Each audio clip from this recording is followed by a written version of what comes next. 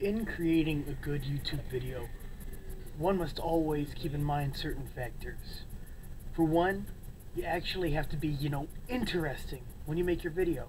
I mean, I see far too many videos where people are just this, with nothing on the screen and nothing interesting to say.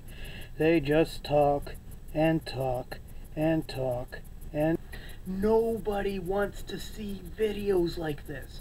Use annotations to your advantage. Use transparent title screens to put words on the screen as you talk. It's amazing. One reason why the Colbert Report's The Word segment is so good is because they use both the actions of the pundit on the screen and the words to create interesting points and counterpoints. You can do that. It's easy. You don't need to have fancy graphics. All you need to do is have something interesting to say and to put it forth in a convincing manner. And don't forget, like I said, use annotations. Link back to your site, link back to your blog.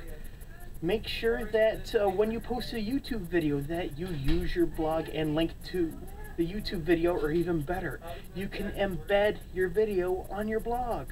Make it try to bridge the gap between the two so that way you have a more seamless entity when it comes to social media marketing.